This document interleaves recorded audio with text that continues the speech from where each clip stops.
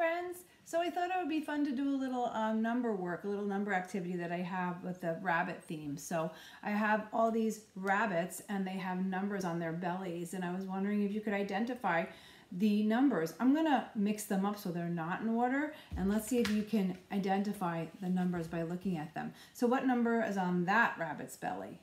That's right, that's number one. What about this one? Can you identify that number? What number's on that rabbit's belly? Good, number nine, super job. What about this one? This looks, mm, I'm gonna skip that one. What number? That rabbit has number five on his belly, good job. What about this one? What number is this? Good job, number three, very nice. Okay, and what didn't we do yet? How about this one? That's number six. Good job. And this one? This one we just did. Good job. Number eight. Nice.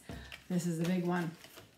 This one has two digits instead of one digit, right? All the other ones had one digit. This has two. I see a one and a zero next to the one. That's number 10. Ding, ding, ding, ding, ding. Did we miss any? Did we do this one? Number Four, good job. And then this one. What number? Seven. Nice. Okay, so I have a little game that we can play.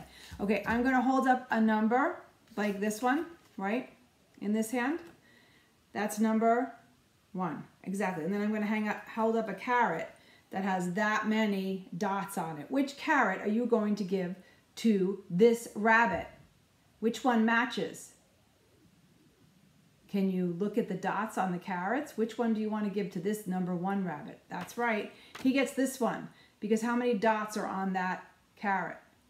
Okay, so that's the number one, and that's how one way we might show what one looks like. One dot. Good job. Okay, let's mix it up a little bit. Let's go all the way over here. What number is this?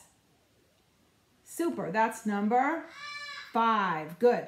So I'm going to hold up two carrots. It's either going to be this carrot. Should I give him this carrot? Or should I give him this carrot? Which carrot does this, does this rabbit get? Well, did you count the dots on each carrot? Which one has five dots? This one does. Good job. So I'm going to give number five on his belly, and then this carrot has five dots. That's one way we might show five. So I'm going to give that. Okay, what about this one? What number is this? Good. Number three. So let's see which which hmm, which carrot am I going to give him? Am I going to going to give this rabbit this carrot? Or am I going to give this the rabbit this carrot? Which one? Take a look. Do some counting. Nope, not that one. Yes, this one. This carrot has three dots, right? This is number three, and this is one way we might show three by putting three dots there, okay? So let's see. Now, uh, how about this one? What number? Nice. Okay. So this, I have this one. Should I give him this carrot? Or should I give this bunny this carrot? Yes, this the first one because it has how many dots? Count them. One, two, three, four. Number four goes with the four dots on the carrot. Good job. I have uh, last one, this one.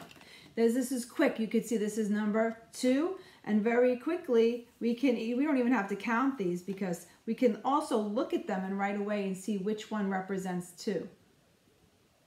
Yeah, good job. It's this one. Two dots represent the number two.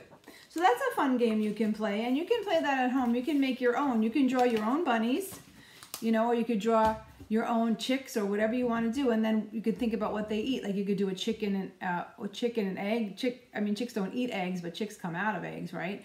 Um, and you can practice showing the number and recognizing the number and then how many dots go with that number okay? Great job. Just a little bit of fun math for the day. Have a great one. Bye